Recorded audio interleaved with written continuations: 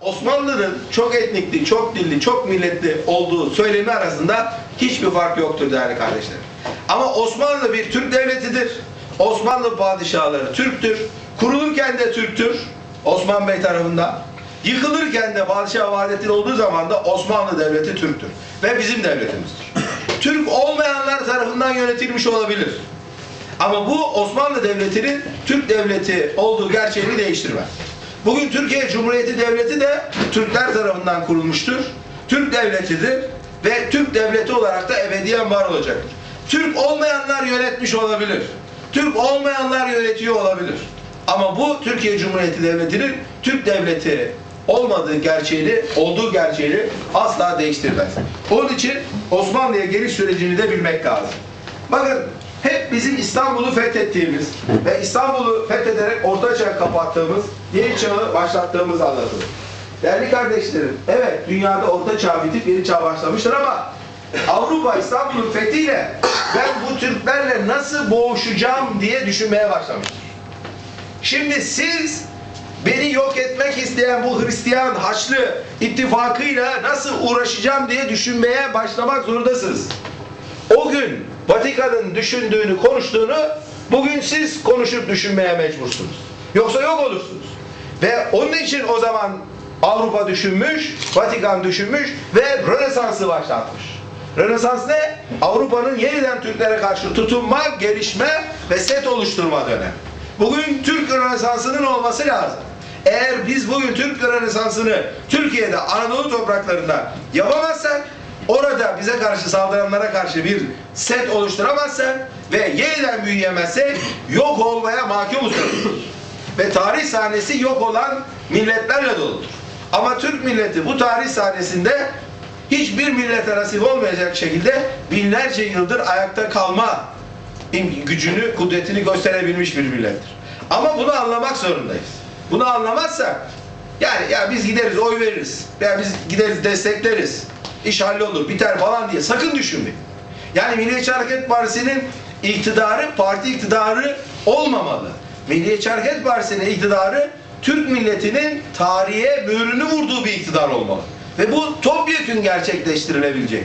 Birlikte beraber gerçekleştirilebilecek bir hadise. Çünkü Batı öyle yapmış. Şimdi Viyana'dan geri döndük. Viyana'ya gidiyorsunuz siz biliyorum. Birçoğunuz gezmeye gitmiştir en azından. Viyana bugünkü Viyana değil. Bakın orada küçücük bir kasaba. Şimdi bir savaş oluyor. Biz tabii savaşı neyle değerlendiriyoruz? Efendim işte Merzifonlu Kara Mustafa Paşa e, Çar Katerina varmış. Onunla bir gece halvet olmuş ve iş hallolmuş, bitmiş. Tarih böyle anlatılamaz değerli kardeşlerim. Viyana muhasarasından geri dönmek de böyle anlatılamaz. Siyasi nedenleri var, askeri nedenleri var, kültürel nedenleri var, psikolojik nedenleri var. Var oğlu var. Ve bizim kırılma noktamız bu Viyana'dan geri dönmek. Eğer biz bunu alsak Avrupa'nın işlerinde bugün belki Belçika'nın hükümranı biziz. Avrupa'nın hükümranı biziz. Ama alamamışız. Ama alamamamızın ve Avrupa'nın bizim karşımızda o kadar kuvvetli duruşunun nedenlerini düşünmemiz lazım. Biz bugün o gün Avrupa'nın bize durduğu gibi bize saldıranlara karşı hep birlikte beraber bir kuvvet sergileyebilmemiz lazım. Ve bunu biz yapamıyoruz. Ama bunu yapmak için ilk önce bunu düşünmek lazım. Bunu anlamak lazım. Bunu yorumlamak lazım. Biz her şeyi çok basite alıyoruz millet olarak. Basite alınca da bir türlü içinden çıkamıyoruz. Bakın Avrupa'dan, Balkanlardan atırdığımız son toprak 550 bin kilometre değerli kardeşlerim. Adalar da var bakın. Hiç şimdi haritaya bakmıyoruz. Bizim haritaya bakma merakımız yok. Deyin ki bana hayır katılmıyoruz sana. Biz her gün haritaya bakıyoruz. Dünyada ne var falan biz biliyoruz deyin yani. Bakın baksak Girit ve Rodos adalarının ve Anadolu'ya yapışık 12 ada dediğimiz bugün Yunan adası olarak geçen ama aslında tarihte Türk adaları olarak anılan adaların biz, bizim Ege Denizi'ne ve Ege Denizi'nden de Akdeniz'e çıkmamız engellensin diye Yunan'a verildiğini görürdük. Çok basit. Adam bakıyor haritaya. Ben bu Türkleri Ege'ye ve Akdeniz'e nasıl çıkartmam? Girit'i ve Rodos'u Yunan'a veririm. Adaları Anadolu'ya yapışık adaları da ona veririm. Bitti. Şimdi bu kadar da bitmiyor. Diyor ki şimdi e, kıta sahanlığını 12 bine çıkarmaya çalışıyor. 12 bine çıkartınca Yunan'ın hükümranlığı Uşaklı var mı aranızda? Uşak'a kadar dayanıyor. Düşünün. Bir operasyonla ki bizim hükümetimizin bunu kabul ettiği konuşuluyor uluslararası arenada. Bir operasyonla Yunan hükümranlık hakkını Uşak'a kadar taşıyor. Afyon'a kadar taşıyor. Şimdi böyle bir durumdan e, siz nasıl etkilenirsiniz? Ya böyle bir duruma hiç tepkiniz olmaz mı? Denizli'deki adam, Muğla'daki adam, İzmir'deki, Aydın'daki, Çanakkale'deki, Manisa'daki adam bunlar etkileniyor. Ve ben hatta şaka yapıyorum ya diyorum ki bizim Gölcük donanma üstünden kalkan gemimiz Marmaris'te Aksaz, e, Aksaz'da donanma üssümüz var. Oraya gidene kadar Yunan makamlarından izin almak zorunda. Diyelim ki siz gittiniz İzmir'de Çeşme'de balık tutuyorsunuz. Oltaya attınız. Hem de tatil yapıyorsunuz. Yunan hücum botu gelecek. Kaldır oltanı orada. Sen diyeceksin niye kaldırıyorum? Ben, buradan balık tutuyorum. Yani diyecek ki burası Yunan karasuları. Kaldır bunu oltanı burada. Adama bu hak doğuyor. Siz şimdi böyle bir durumun olduğunu bilseniz itiraz etmez misiniz? Şu an Yunanistan son 6 ay içerisinde 16 tane bize yapışık adayı işgal etti. Türkiye'nin hayalci bir Dışişleri Bakanı var, çıt yok. Soruyoruz Türkiye'de, arkadaş niye Türkiye'nin hakkını aramıyorsun? Türk topraklarını işgal ediyor Yunanistan, niye sesini çıkarmıyorsun? Cevaba bak. Diyor ki biz uluslararası hukuk kuralları çerçevesinde ulusluk, uluslararası kuruluşlar nezdinde Türkiye'nin hakkını arıyoruz. Geç bunları kardeşim. Kardak'ta ne oldu hatırlayan var mı? Karda Yunan bayrağı dikilmişti. Sas komandoları gitti, indirdi Yunan bayrağını, yıktı Yunan kilisesini orada, dikti Türk bayrağını, sıkıyorsa gel buraya. Sen bırak bana öyle Dışişleri Bakanı olarak palavra atmayı. Bak Türk adalarını alıyorlar orada. Sizin toprağınızın alındığını siz biliyorsanız bu kadar tepkisiz kalır mısınız?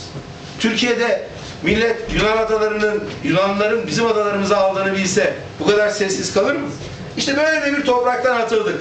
Ve burada hala 12-13 milyon Türk ve Müslüman yaşıyor.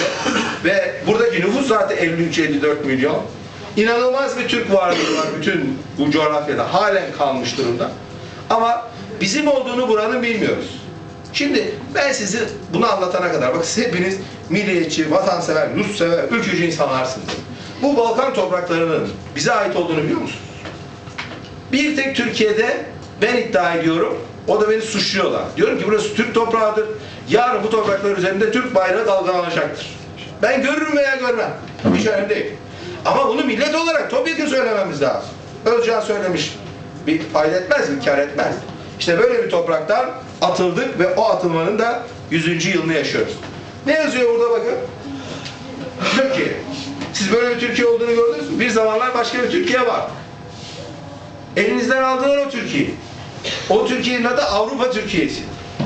Yani Türkiye'nin Avrupa'daki kısmını elinizden aldılar. Koparta koparta aldılar. Ve bugün onun farkında değiliz. Bu da bir Atilla'nın torunu Geza, Bizans'taki Doğu Roma İmparatoru ona diyor ki seni Türkiye'nin kralı ilan et. Ben de diyorum ki ya şimdi bir soru daha size. Atatürk Türkiye Cumhuriyeti Devleti'nin adını Türkiye diye koymuş. Biliyorsunuz şimdi ölenin arkasından kötü konuşulmaz. Turgut Özal diye bir adam var. Onun bir de abisi var. Şimdi can çekişemiyor onlar. Can çekişiyor herhalde. Diyor ki burası Türkiye değildi. Burası Anadolu Cumhuriyeti olarak kurulmalıydı ve federatif bir devlet olmalı. Yine can çekişemeyen bir adam var Kenan Evren. O da diyordu ki eyalete bölelim, federasyon olsun Türkiye'de. Ve Allah'tan korkun. Binlerce yıldır burası Türkiye olarak tanınıyor ve biliniyor. Yani masum Atatürk'e, bakın masum Atatürk'e, vay buranın adını niye Türkiye koydun diye o kadar laf söylüyorlar. Ve utanmadan söylüyorlar. Her mekanda söylüyorlar, her ortamda söylüyorlar. Meğersem buraların adı zaten Türkiye'ymiş. Türkiye demek de Türk'ün memleketi. Ve biz de dememişiz. Avrupalılar bu adı, adı takmış. Bu topraklar Türklerin memleketi, buralara Türkiye denir diye. Ve düşünün ki bizi içimizde bu anlamda bile bir fitneye doğru yürütüyorlar. Bu da beşte burası. Ben şunu söylüyorum sadece, çok şey anlatılır. Şuradaki heykelin dört tanesi Türk. Macarlar söylüyor, biz söylemiyoruz onu. Altı tane ata binmiş kahraman heykeli var burada. Evliya Çelebi'nin seyahatnamesine bakın. Evliya Çelebi diyor ki 217 tane Budapeşte de cami, mescit, han, hamam, kervansaray, medrese, sebil vardı diyor. Şimdi 217 tane ben Eyüp Sultan'da büyüdüm İstanbul'da Eyüp'te. Biliyorsunuz 1453'te İstanbul fethedildiğinde Akşemseddin Hoca Efendi rüyaya yatar, istiha- is- istihareye yatar. İstiharede Eba Eyüp Ensari Hazretleri yani Peygamber Efendimiz'i evinde misafir eden muhterem zatın kabrini bulup çünkü İstanbul'u fethetmek için gelmişti. Ve Eyüp Sultan Osmanlılar tarafından, Osmanlı Türk'ü tarafından önce Türkleştirilen ve İslamlaştırılan muhitli bölgedir. Emin olun Eyüp'te 217 tane Osmanlı Türk eseri yok. Bakın Eyüp'te. O zaman ben soruyorum. Budapeşte mi daha Türk, Eyüp'tü daha Türk? E, elbette ki Budapeşte, elbette ki Budin daha Türk yani. Niye? Orayı Türkleştirmek için Budapeşte'ye kadar bu Türk ve İslam'ı götürmek için bizim atalarımız büyük mücadele vermişler. Bilen var mı bugün? Bilen yok. Bakın Balkan Savaşları. Şimdi çok şey anlatılır. Bir buçuk milyon insanımız öldü. Aramıyoruz, hatırlamıyoruz, mevlid okumuyoruz, dua etmiyoruz. Unuttuk onları gitti. Hepsine amenna. Şimdi sadece bir soru soracağım size. Bakın bu sembol olmuş bir fotoğraf. Balkanlardan kaçan kadınlar bunlar. Fotoğraf. Hepsinin ayağı çıplak. Hepsinin ayağı çıplak.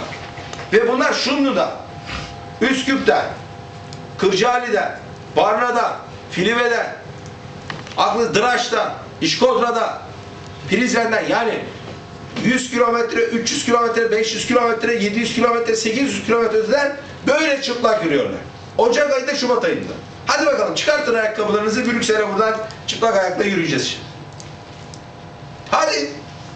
Yürüyemezsiniz değerli kardeşler. İşte onlar o zulmü gördükleri için çıplak ayakla koşa koşa kaçıyorlar. Bakın gördüğünüz tablo. Hepsinin ayağı çıplak. Şimdi insanlar böyle benim bir değerli abimiz var. Hoca Ahmet Yesevi Vakfı Başkanı Erdoğan Aslı Yüce. 70 küsur yaşında. Dedi ki Türk'ün en büyük eksikliği ne biliyor musun Özcan? Geçenlerde. Nedir abi dedim. Türk düşünüp tefekkür etmiyor dedi. Yani Türk bakar kör. Şimdi bu resme baktığınızda ben ayakları göstermesem dikkatli bakmazsınız. Ben ayakları gösterdim size. Hepsinin ayağı çıplak. O zaman bakınca dikkatli tefekkür ediyorsunuz. Aa bunların ayakları çıplak. Ben de bana kimse öğretmedi bunu. Ben bu resme böyle saatlerce baktım. Yani nasıl gidiyor bunlar diye böyle. Bakın erkekleri öldürmüşler. Erkekler yok. Ya erkekler cephede, ya ölmüşler, ya kaybolmuşlar. Kadınlar kalmış. Bunlar namuslarını kurtarabilen kadınlar. Kaçıyorlar. Bakın kucakta bebe var. Ve çok enteresan bir şekilde Bulgaristan'da bir köy var. Gittiğinizde gösteriyorlar. Bu o köy diyorlar. Bulgar çetecilerin, Bulgar askerlerin tecavüzünden gelinler ve genç kızlar nasıl kurtulmuşlar biliyor musunuz? Erkek yok başlarında. Nineler demiş ki hemen soyunun. Ne kadar insan pisliği varsa üzerinize sürün. Ve o genç kızlar ve gelinler bütün alet yerlerine insan pisliğini yüzlerine yüzlerine sürmüşler. Bulgar çeteleri ordusu gelince de onlara bir açınca iğrenmişler. İğrenince bırakmışlar olduklarını. Türk bu, o gün bu köy hala orada meşhur. Hala bununla anılıyor. Şimdi bu savaş 100 yıl önce olmuş. Mehmet Alev diye bir adam var. Kırcaali'de yaşıyor. Ve Bulgaristan'da Alev diye bir Türkçe dergi çıkartıyor. Ben bu işlerle çok uğraşınca dedi ki Özcan Bey gelsene ya dedi. Bir Rodop'taki Türk köylerine çıkalım. E dedim Mehmet Bey çıkalım. Dedi hala dedi bu savaşın dedi etkileri orada var dedi. Değerli arkadaşlar 100 sene geçmiş. Köylüler dağda hala korkmuşlar, hala ürkmüşler. Hala bu savaştan dolayı akıllarına acaba bize ne yapacaklar korkusu yaşıyorlar.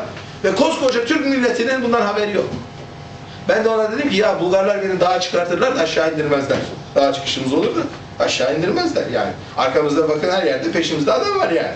Ne yapıyorum, ne ediyorum, ne konuşuyorum, ne söylüyorum. Bulgarlar da maşallah bizi çok harbiyat takip ediyorlar. Şimdi hep bize ikna etmişler. Bugün bir tane adam var. Pensilvanya'da oturuyor. Efendim gerekirse el ete köpelim. Türk el ete köper mi ya? Türk'ün eteği öpülerek bugüne kadar eli ve eteği öpülerek Türk yaşamış. Osmanlı'yı biliyorsunuz padişahın eli ve eteği öpülür. Yani sen şimdi eli öpülen, eteği öpülen bir milleti, büyük bir milleti Cenab-ı Allah'ın bayraktarlığını yapmış ve bununla da onur duymuş bir milleti diyorsun ki el ete köp. Kime? Bölücüye karşı, ihanete karşı. Diyorsun ki barışta sul vardır. Böyle barış olmaz olsun. Ve barışmayız da kimle barışacaksın sen ya? İhanetle mi barışacaksın? Beni ihanete mi zorluyorsun? Niye ama? Yalan söylüyor bize. O cemaatinin peşine taktığı adamlara yalan söylüyor. Diğer tarikatlarda bu şekilde aynı. Hiç aralarında bir fark yok. Anlatmıyorlar bunları. Kim söylüyor bunu? Efendim barış yapalım. Bakın bu adam Amerikalı. Diyor ki Avrupa'dan atılırken, Balkanlardan atılırken Batı size yalan söyledi. Şimdi de diyor PKK konusunda Batı yine size yalan söyledi. Tabi Batı yalanı söylüyor? Başbakanla söylüyor, bakanlarla söylüyor, AKP'li yöneticilerle söylüyor, gazetecilerle, televizyoncularla söylüyor, Mehmet Bilan, e, Mehmet Ali Birant'la söylüyor, e, Fatih Altaylı'yla söylüyor, Ta Akyol'la söylüyor, Ruşen Çakır'la söylüyor. Televizyonlarda seyrettiğiniz ne kadar satılık yani e, içinde olanlardan varsa onlarla söylüyor. Batı yalancı. E Şimdi siz Batı'nın yalan söylediğini Türk milletinin çocukları olarak bilmezseniz, ona karşı bir direnç göstermezseniz biz bu mücadeleden nasıl galip çıkacağız? Bakın bizim bütün işler de yatıyor biliyor musunuz? Dış ticaret açığında ve borçta yatıyor. Şimdi ekonominiz açık vermeye başlayınca, ticaretiniz açık vermeye başlayınca nasıl kapatacaksınız bu açığı? Dışarıdan borç alacaksınız. Osmanlı 1853'ten sonra dış ticaretinde açık olmuş ve dışarıdan borç almış. Ve bir sterlin 1814'te 23 kuruş, 1829'da 104 kuruş. Değer kaybetmeye başlamış Osmanlı ekonomisi. Yine altta altın para ve gümüş paranın da ne kadar değer kaybettiğini görüyorsunuz. Şimdi dış ticarette açık başlıyor, ekonomi bozuluyor, dışarıdan borç alıyorsun, kapitülasyonlarla yeraltı ve yerüstü zenginliğini batıya teslim ediyorsun. Ondan sonra ne oluyor? Ondan sonra isyanlar başlıyor. Nerede isyanlar başlıyor? Hem Balkanlarda isyanlar başlıyor hem Orta Doğu'da isyanlar başlıyor. Neden ama? Ekonomin bozuk, o isyanların başını ezemiyorsun. E bugüne gelelim. Şimdi o isyanlar başlayınca sana diyorlar ki ya insan hakları var, barış var, demokrasi var, özgürlük var. Bu isyan edenlere hak tanı, bak sen bu işten kurtulacaksın. Osmanlı'da senedi ittifak, tanzimat fermanı, ıslahat fermanı, kanuni esasi, birinci meşrutiyet, ikinci meşrutiyet hep bu hakları tanıyor o isyan edenlere. Değerli arkadaşlar, isyan edenlere ne kadar hukuki hak tanırsanız tanıyın. İlk anayasamız kanuni esasi. Aynı bugün Kürtlere verilmek istenen, PKK'ya verilmek istenen haklar gibi o dönemde diğer isyan edenlere veriliyor. Ama devlet o toprakları kaybediyor. Bugün yeni anayasa denilen tuzakta eğer Türk milletinin hükümranlığını sona erdirirseniz, bakın biz çalışıyoruz, çabalıyoruz. Ama büyük desteğinize ihtiyacımız var. Muazzam desteğinize ihtiyacımız var. Ve diğer insanlarımızı da uyandırmanıza ve ikna etmenize ihtiyacımız var. Yeni anayasada Türk milleti hükümranlığı kaybederse sonuç diğer isyanlarda olduğu gibi olacak. Bakın Lord Palmerston 1849 yılında bizim için Türkiye'nin istiklali siyasi siyasi istiklali kadar ticari istiklali de önemlidir diyor. Bu ne demek biliyor musunuz? Bizim ülkemizin üzerinde bunların kavgası var. Bizim kavgamız yok. Böyle bir şey olmaz. İngiltere, Almanya, Fransa, Amerika, İsrail, Rusya, Çin bizim ülkemiz üzerinde kavga ediyor. Sen mi sahip olacaksın, ben mi sahip olacağım? Ve Muğla'nın fethiyesinde krom yataklarımız vardır. Ve bu krom yatakları 1856'dan 1934'e kadar Fransızlar tarafından işletilmiştir. Ve Fransa 400 yıllık krom ihtiyacını Türkiye'den çalarak kendi ülkesinde depolamıştır. Yani Türk milleti bu kadar sessiz, bu kadar duyarsız, bu kadar malını al kardeşim ben yemiyorum sana veriyorum nasıl der? Ben düşünmek edemiyorum. İşte onlar diyorlar ki bu Türkiye'yi böyle tutmamız lazım. Bakın 1870 yılında devlet geliri büyük kısmı dış borçlara ve faize ödemek için gidiyordu. Bugün 2013. Devlet gelirlerinin neredeyse tamamı dış borçlara ve faizlere ödemeye gidiyor mu? Gidiyor değil mi? Hiçbir fark yok. Avrupa ülkeleri kendi çıkarlarını sağlamak için siyasi ve askeri güçleri kullanarak Osmanlı Türk İmparatorluğu sınır içindeki isyanları siyasi ve hatta askeri güçleri kullanarak destekledi. Bugün PKK'yı destekliyor mu Avrupa Türkiye? Destekliyor değil mi? Aynı o dönemde de yine desteklemiş. İşte dediğimiz gibi üç tane savaşımız var kırılma noktası. Şimdi ben bu savaşları anlatmayacağım, bahsetmeyeceğim. Açın lütfen öğrenin. Bu savaşlar bizim üç tane kırılma noktamız. Ve biz bu savaşları bilmezsek bugün anlayamayız. Bu savaşların nedenlerini bilmezsek bugün anlayamayız. Sadece şunu söyleyeyim, Balkan Savaşları'nda 8 Ekim 1912'de başlayan savaş 9 Eylül 1922'de bitmiştir. 10 sene. Tevfik çıplak ayak örneğini verdim. 10 sene savaşmaya takatiniz mecaliniz var mı? Türk milleti, Türk devleti o zaman 10 sene savaştı.